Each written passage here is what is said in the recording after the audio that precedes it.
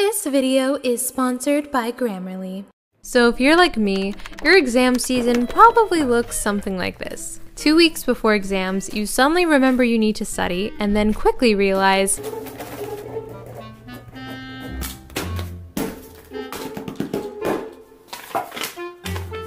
I understand nothing.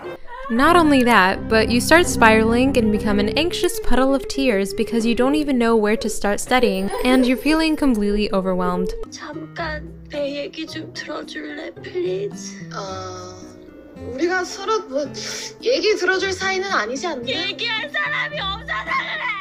You know I have no 친구. 알아, 알았어.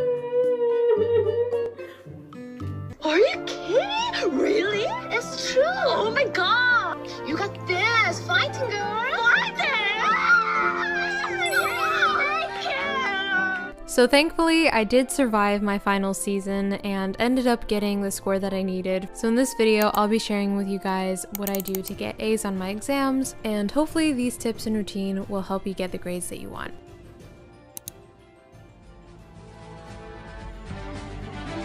Let's get down to business to defeat exams. I know I'm being over dramatic, but desperate times call for desperate measures. So, to begin with the game plan stage, I first start off by getting to know the exams, dates, resources available, type of exam, percent of my grade, etc. And it's just really helpful at this stage to read through the syllabus, see if there's any other information about the exams. This way, you'll have somewhere where you can see clearly just how many exams you have to study for and just what to expect. And this is a tip for anyone who's taking standardized tests like AP exams, SAT, but many times I noticed that my classes would either not cover some material that was ultimately on an AP exam or that it would cover some material that ended up not being tested on the AP exams. So prep books and also the websites that go along the standardized tests like the College Board will also be your friend because they have actual old exams. They also have their official PDFs that talk about the exam, so they're just a very reliable, standardized source to use.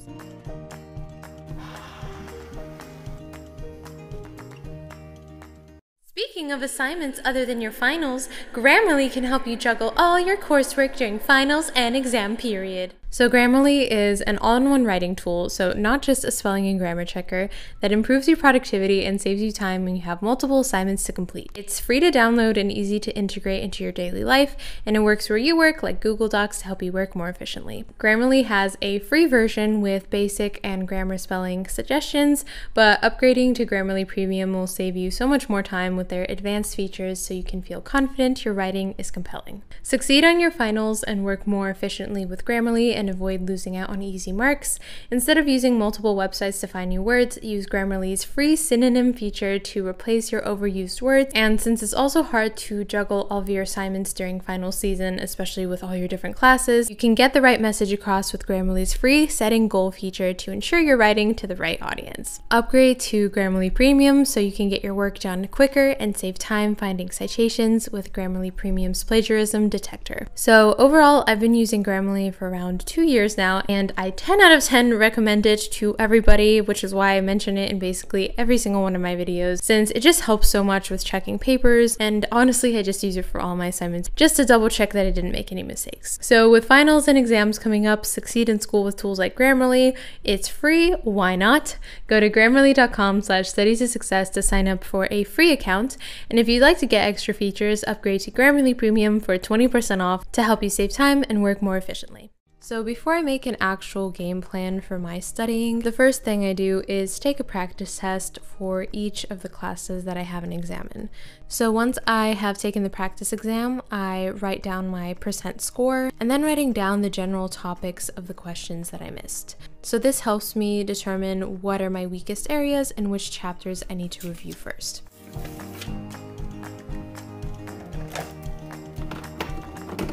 And so now that I know which areas are my weakest and roughly what my percent score is if I just go in blind, I ruthlessly prioritize my time during the exam weeks and leading up to them based on the importance of each exam for my grade. And again, the situation with how prepared I am even without studying. So I know this might sound pretty ruthless, but I ultimately figured out this system when I was taking a ton of classes in high school and I realized that I simply could not prioritize every single exam equally. So, just as an example, my senior year, I think I had like 10 AP exams, and I also had three dual enrollment exams in the same semester. So I had an insane amount of exams. And one of the classes, I think it was SAS statistics, I did a calculation and realized if I just got above a 42% on the exam, I would still have an A in the class. So I realized that I was just pretty much not going to study for that exam at all and prioritize my other exams. So sometimes you do have to be strategic about it, and if you just don't have enough time for all of your classes and all your exams, you need to choose which exams are the most important to you, which classes you want to prioritize depending on maybe your major or your goals ultimately. And finally, also based on your current grades in the classes, as well as how well you did on the practice exam. So you take this into account, you determine the grade, the minimum grade that you need on the exam in order to get the ultimate grade that you want in the class. You look at the grade that you got on the first practice exam that you took, you look at how many weeks or how many days you have left and how many exams you have and then you use all the things you did during the three previous steps to finally determine what is your calendar and schedule for the exams, roughly how many hours you have between them, and which ones you want to prioritize. It may sound ruthless, but in my experience, it's very effective and essential, especially when you have a ton of exams.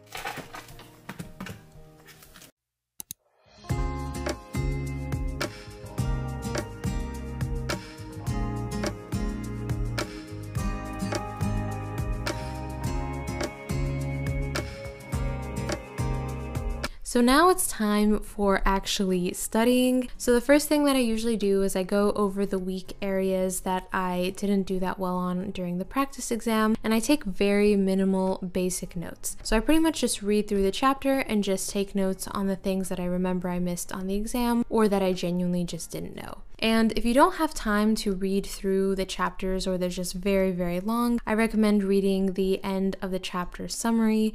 They usually include all of the main vocab as well as the major concepts. So once I've gone over the chapters that I determined I needed to review, I watch the review lecture if there is a review lecture, since this can be extremely helpful in understanding the psychology of the professor and understanding which topics the professor prioritizes, as well as any other useful information they might slip to the students during the review lecture.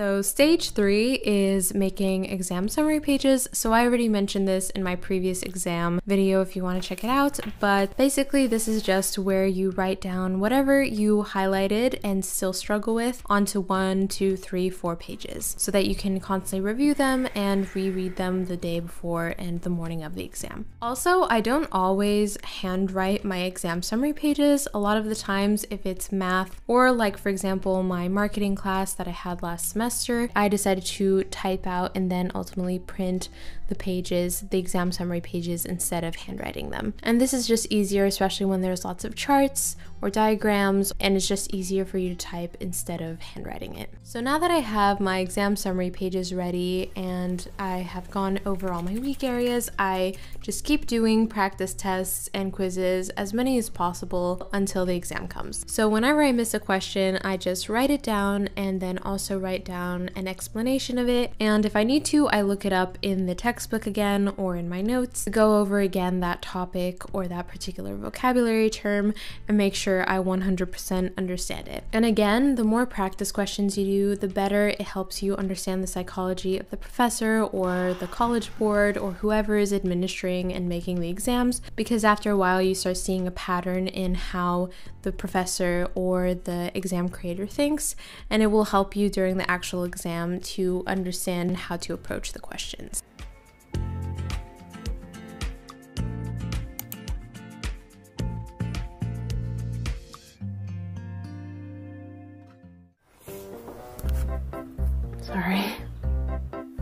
Good girl. Fighting! Ah! Ah! So smart. Who's the smartest kitty in the world? Who's my meow gonna go? You are the kitty. You're such a smart kitty.